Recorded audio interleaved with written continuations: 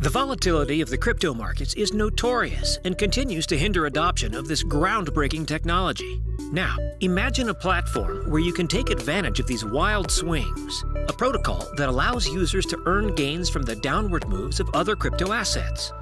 This would be a game changer, right? Well, say hello to Inverse, a counter volatility DeFi protocol. Inverse is an Ethereum smart contract enabled platform that tracks the movement of popular DeFi coins and allows users to gain yield from their volatility via the XIV utility token. Here's how it works.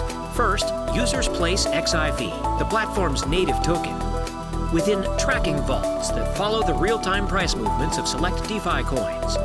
After seven days or 10,080 minutes, if the value of the DeFi asset followed by the tracking vault has dropped by a certain percentage, the user will gain a significant yield on the amount of XIV held within the tracking vault. If, however, the value of the DeFi asset being tracked has risen, the user will forfeit a percentage of their XIV tokens held within the tracking vaults. Rewards are dispersed in XIV tokens. In other words, inverse literally means greater market drops equals larger token gains. Visit www.projectinverse.com today.